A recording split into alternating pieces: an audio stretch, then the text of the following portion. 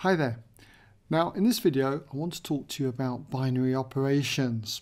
They're often denoted by say this symbol here, a star, although you will see on occasions other symbols used.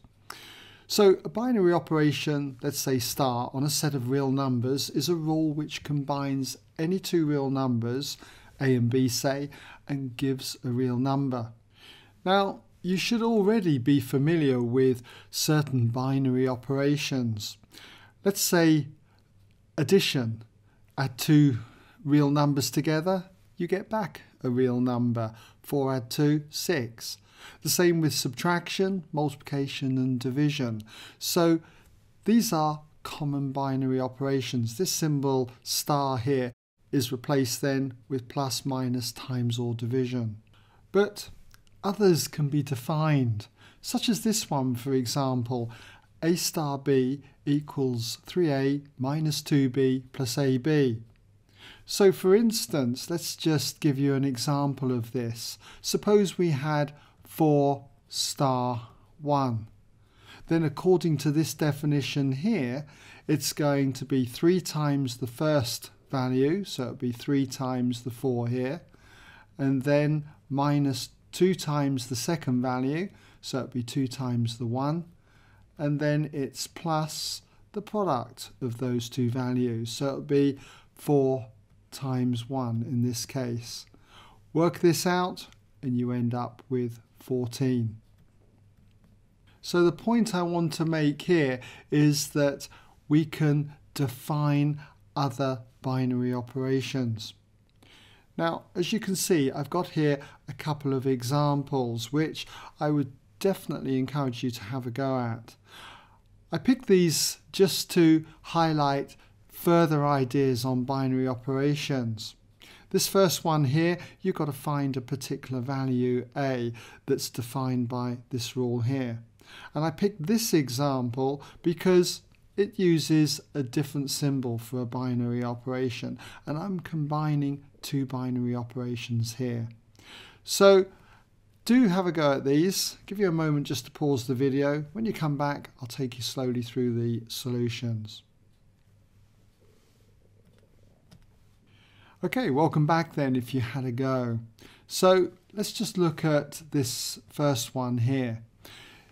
If a star b, or a combined with b, equals a squared minus b. Find the value of a such that a star 4 equals 5. Okay, so using this definition here, we've got a squared minus the 4 must equal the 5. So if we add 4 to both sides, we therefore get a squared equals 9. And if we square root both sides, a must equal plus or minus the square root of 9 being 3. Okay, so it said find the values, so we've got two values here. Now in this second example, I picked this because we've got two different binary operations.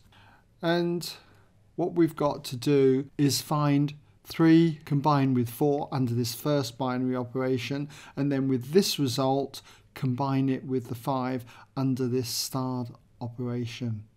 So copying down this question here, we've got 3 and then we've got that first binary operation and then it's combined with the 5 there under the second binary operation.